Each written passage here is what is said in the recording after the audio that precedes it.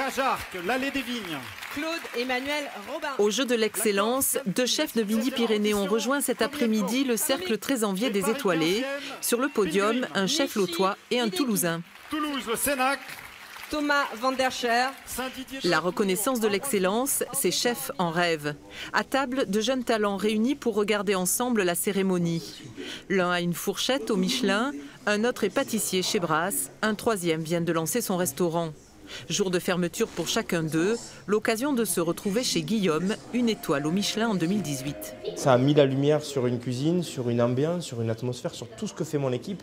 Parce qu'il y, a, y a moi aujourd'hui que, que vous interrogez, mais il y a tous ceux qui sont derrière moi, là. toute mon équipe qui est en salle et qui est mon sommelier, ma chef de salle, qui font un travail énorme. Balthazar aussi a la récompense en tête. Même s'il démarre, il fait le plein depuis l'ouverture de son restaurant au mois d'août. C'était pas un objectif de base, mais on en a tellement parlé et tout que on se dit finalement pourquoi pas, et du coup on espère l'avoir. Et comme ils sont déjà venus assez tôt et qu'en ce moment ils sont dans une dynamique, euh, une dynamique où ils privilégient vachement les jeunes, etc.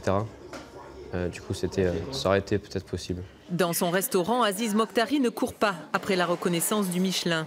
Depuis 8 ans, la qualité de sa cuisine en fait l'un des chefs les plus appréciés de Toulouse.